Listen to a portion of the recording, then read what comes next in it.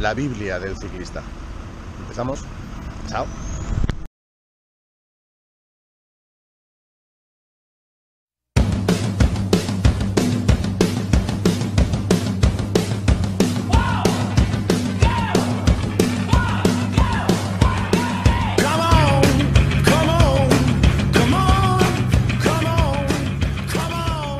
Buenos días, tigres. Bueno, como ya, ya os he dicho en la intro, estamos con, con un grande, macho. El planificador. Planifica tus pedadas.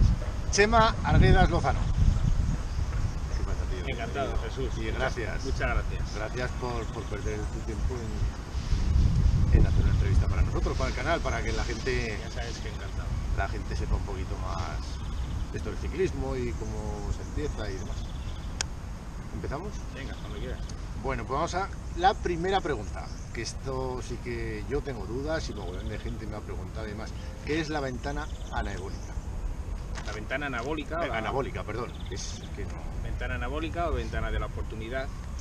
Ahora hay quien dice, hay una pequeña controversia, que si no es tanto, que, que, es, que es más prolongada que esas dos primeras horas nada más terminar de hacer ejercicio, que es de lo que consiste, de que una vez que has vaciado todos los depósitos de glucógeno y ha habido una, una destrucción muscular, es, en esas dos primeras horas el, el organismo está, el músculo está muchísimo más receptivo. De hecho, eh, a nivel celular, los transportadores de glucosa salen a- a- al borde de la célula, por decirlo de alguna forma, para captar toda la glucosa, se multiplican que sale. Y son esas dos primeras horas. Y particularmente las, los primeros 30 minutos. Pues estamos hablando de, acabas una prueba, por ejemplo, haces una Monegros, como el otro día, 117 kilómetros, y te puedes meter al cuerpo todo lo que sea. No, no. Eso es, eso es, eso es No, importante, por, eso es no porque son, eh, tiene que ser en forma líquida, Ajá. porque es lo que más rápido vas, vas a asimilar, porque tú ten en cuenta que aparte hay gran cantidad de desechos en el organismo, se ha destruido bastante fibra muscular, ha habido catabolismo, entonces está el- trabajando el riñón en exceso, está trabajando el, el hígado para depurar esas proteínas, aparte el riego sanguíneo todavía no está en el sistema digestivo, y de ahí, por ejemplo, esas dos primeras horas que todavía el sistema hormonal, por decirlo de Sí. alguna forma, eh, mantiene abierto el riego sanguíneo a las piernas, hay que aprovechar antes de que se cierre esa cantidad de sangre que está entrando, Vale, vale, meter el, el alimento para que se recargue el glucógeno. Ajá. Y entonces tienes que aprovechar y tiene que ser a razón de un gramo o un gramo con dos eh, kilos de carbohidrato por Sí. cada kilo de peso corporal. Y también aprovechar en ese primer momento para aportar proteína de, de alta calidad. Perfecto. O sea que los pasteles al palco. No, ¿Vale? eso- Pasteles cero. Vale, sí, eh, Bueno, Más eh, exacto. ha avanzado esto mucho. Eh, ¿qué, qué, qué recomiendas, sobre todo a la gente que, que acaba de empezar? ¿Pulsómetro, cadencia de pedaleo o potenciómetro? Entendiendo que, que lo último, el potenciómetro, ya es un, un aporte económico importante. Mira, eh, como referencias para entrenar, lo que es pulsómetro y, y potencia. Y potencia. 100% potencia. O sea, no hay color. No hay, no hay color. O sea, lo que te marcan los vatios es lo que... O sea, no- no- lo- y, lo y que- las posibilidades que ofrece a un entrenador que, por ejemplo, controle el tema eh, de análisis de datos. Porque luego la cadencia eh, es válida para las dos referencias y se puede trabajar con distintas cadencias.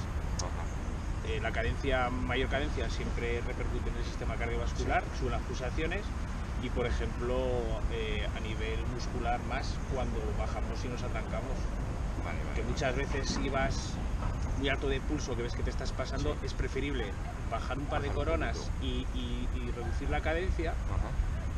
que solo es un momento para que te baje el pulso Sí. y volver otra vez a... Vale. Pero como referencia, la, la potencia no hay color. Vale. O sea que la siguiente pregunta Ojo, está... no quiere decir que las pulsaciones no valgan, ¿eh? Ya, ok. Vale, vale, vale. Entonces, ¿una cadencia de 80-85 sería buena o es preferible ir un poco más? Siempre hay una cadencia natural. Cada uno tiene una cadencia natural. Lo que pasa es que hay algunos, que tienen una cadencia natural baja. O, o es raro encontrar alguien con una cadencia excesivamente alta. Lo ideal es 90-100 en llano y en, y en subida, pues dependiendo que subida y del desarrollo que, Vale, vale. que- que lleves, pero lo normal 70, 80 es está bien. Aparte que el, el- el llevar una cadencia elevada eh, favorece el desarrollo de, de capilares y de, de mitocondria. O sea, a mayor cadencia mejor. claro. Eh, vamos a ver, gente que tenga poco tiempo, que esté con niños, con poqui- poquísimo tiempo, por el trabajo y demás. Salidas de dos o tres salidas diarias. O sea, perdón, semanales. Dos salidas semanales, muy poco. Eh, mínimo tres.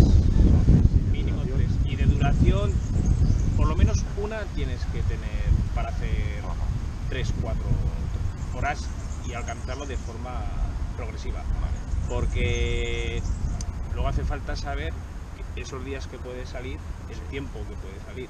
Pero lo, lo mínimo son, son tres días. Tres Evidentemente, si quieres preparar unos 10.000 del sopla, un- Esa una- será la, la del año que viene. Una- Esa será la del año que viene. una quebrantahuesos, un- una marcha de gran fondo, una, una prueba por etapas, lo tienes mu- mucho más complicado. Claro.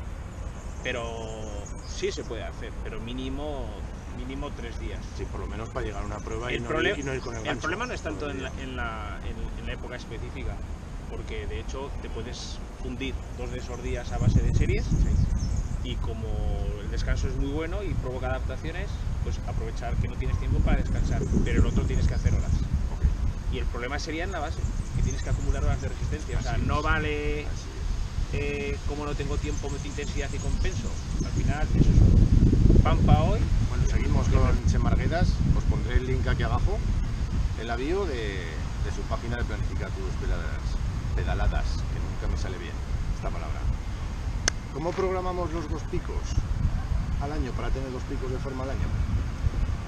Eh, todo depende del parón que tengas en el verano. Más de tres semanas no puedes parar, Vale. porque eso es empezar otra vez. Lo, lo normal, lo que la gente suele hacer, yo por la experiencia de, de- de- de todo lo que me llega, es empezar en noviembre, diciembre, aguantar, hacer una preparación para competir junio, hasta junio, por ejemplo, y luego en julio hacer un descanso de no más de 15 días, 10 días o, Sí. o 15 días, una semana. Sí, porque si no esto, conforme estás arriba, dejas de hacer y bajas abajo. Entonces, es el límite, por decirlo de alguna forma, en el que se pierden adaptaciones, pero no es algo catastrófico. Ajá. Y luego, en función de lo que hayas parado, hacer una pequeña base. Que irá, será mayor si has parado 15 días que si has parado una semana. Una semana prácticamente no es nada. Necesitas un microciclo de, para recuperar el tono cardíaco y muscular, pero luego se podría decir que trabajas eh, aeróbicamente y ya puedes empezar a... sobre todo lo que está pasando en muchas pruebas que vemos en las noticias, que alguien ha dado un paro cardíaco, que se ha quedado en el sitio. ¿Recomendarías una prueba de esfuerzo Total. anual? ¿Una anual? O, Eso pica mucho al bolsillo de la Sí. gente. Eh, pero yo solo digo siempre, cuando tú le pones precio, eh, no te haces una prueba de esfuerzo porque te parece cara, le estás poniendo precio a tu vida, ¿eh?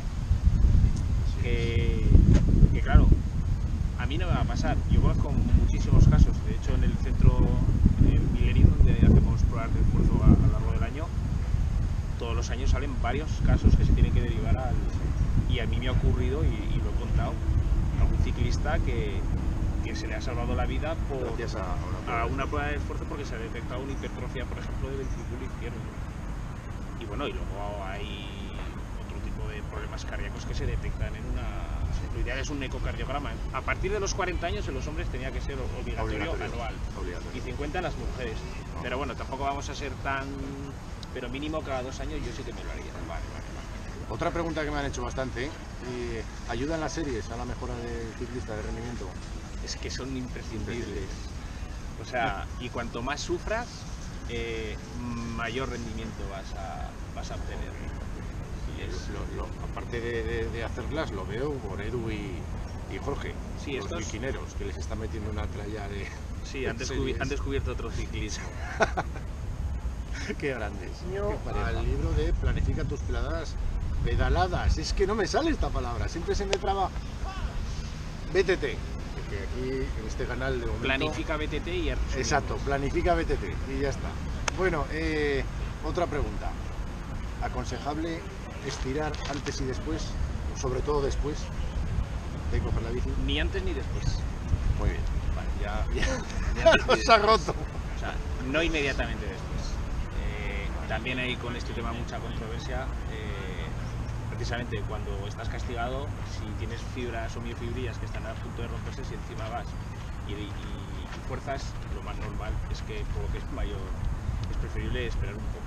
Vale. Y antes con realizar un, un calentamiento apropiado en función del- de la intensidad que va a ser la salida y sobre todo la temperatura también que hay ambiental, no, no es necesario. ¿Qué es la resistencia anaeróbica? Lo he dicho bien. Sí, sí. Esta vez lo he dicho bien. La resistencia anaeróbica es eh, la parte de, de trabajo de, de kilojulios, por decirlo de alguna forma, eh, que nosotros desarrollamos una vez hemos sobrepasado nuestro umbral anaeróbico, o sea, la- la- la- sin pérdida de rendimiento. O sea, la, la cantidad de trabajo que nosotros podemos desarrollar durante un tiempo determinado. Es muy poco tiempo, Sí. porque puede ser láctica, puede ser aláctica, de hecho, no tiene ningún sentido entrenar eh, excesivo tiempo porque el metabolismo no te lo, no te lo permite. Pero es un trabajo que, por ejemplo, a nivel competitivo es indispensable para gente que compite en rally, ciclocross, máster, carretera, pero para gente que hace cicloturistas Sí. o gente que... Ojo, que ya las cicloturistas ya es de todo menos cicloturista. Sí, ¿eh? pero... Sale la gente ya- Sí, pero ese es problema de la gente. Sí. Y Yo creo que muchas veces en muchas pruebas, me ha pasado en Starbea, en la en la larga, que las pruebas se ganan más con educación que con piernas. Sí, la, est- la estrategia la estrategia es fundamental. Eh, yo esta semana, por ejemplo, tengo un, pupilo que hizo una prueba. Me dijo que el, el final lo pasó bastante mal. Y cuando me mandó el archivo con los tiempos que había ido en...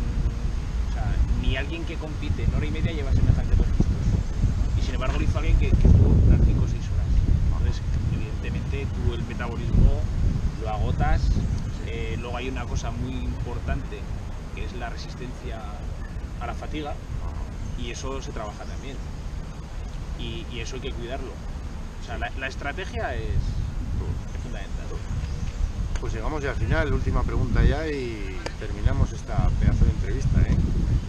Bueno, ¿cómo alguien que empieza, cómo puede calcular su frecuencia, su, su frecuencia cardíaca máxima? Imagino con pulsómetro y demás. Sí, evidentemente es necesario pulsómetro y si es una prueba de esfuerzo no vale para nada la, la- la frecuencia cardíaca máxima.